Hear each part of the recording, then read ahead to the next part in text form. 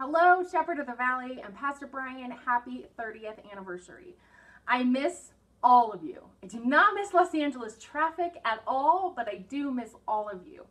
It seems like only yesterday that I was a brand new pastor and we were celebrating Brian's 20th anniversary when I didn't know anything and I was terrified and I had no idea what was going on.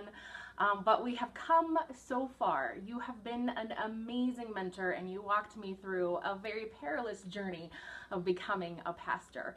And I thank you for that. And now it's my turn to walk other people through that same journey. And I hear you all the time in my head, your words of wisdom. And Todd and I quote you all the time.